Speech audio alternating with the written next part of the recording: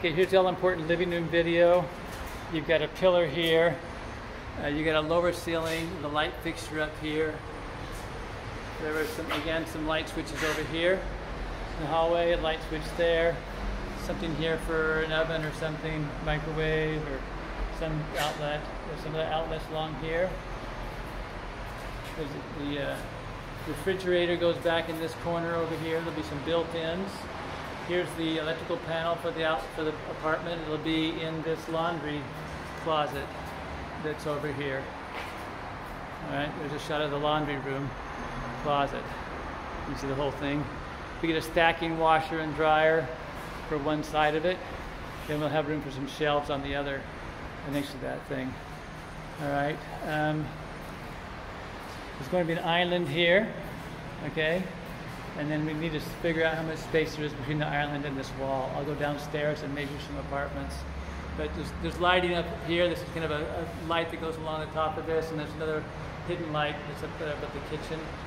And then that's the way out. out. There's just a one pillar on that wall. And this wall is completely free until you come to this edge over here. Uh, you can see the ceiling goes back up again. And there's some, there's two light fixtures up here. There's another one in the middle. It could be a fan. it Could be another one here. So there's five total up here. And then on this wall, there's an outlet in that corner and two outlets over here. I don't see any power out here on the patio. I think I asked about them doing that for us, but anyway, no power out here. That's kind of a bummer.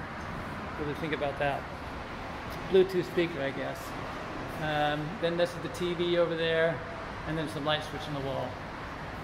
So patio's quite wide. I have that dimension. There's a notch in the patio for the drainage. So the water will go along that edge and then come down to here. So that's kind of awkward. There's a little step here It'll be bumping on, you have a chair, you usually go up against that. But uh, we'll figure that out. And then there'll be a glass rail along here. And you see this, this opening is quite quite wide out here, so you get a really nice view out, and all painted black. So that's very nice. All right, time to go back down and see if my bike is still, oh, one other thing, there's some kind of a service chase back here that uh, goes all the way down. Some kind of major power lines in here and some service stuff. Okay. I'll go down and see if my if my this is this is the view from when we're standing here doing the dishes. We'll see this. And then if we're over here sitting down, like here's sitting height, you'll see you'll see that from the center of the of the room. And if you're sitting a little more out, say you get a chair like here that's going to be about you know 20 inches off the sliding glass door, you'll look and see this view as you turn your head around. I'm just kneeling down, just sitting height right now, but it's just going to be gorgeous. All right, whatever happens, it'll be great.